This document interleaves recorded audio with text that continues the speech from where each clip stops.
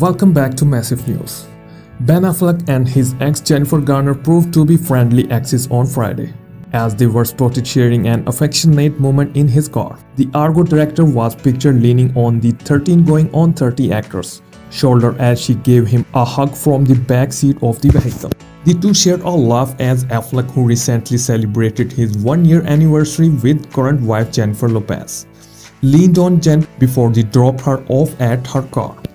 Their youngest daughter Seraphina was sitting in the passenger side next to her dad.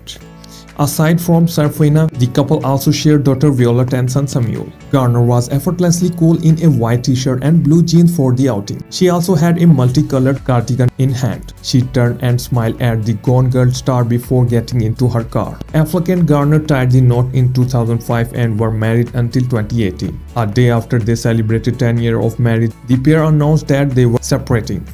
The two former spouses share a friendly co-parenting relationship. Through his marriage to J-Lo, Ben also became a stepdad to her twin Max and Anne.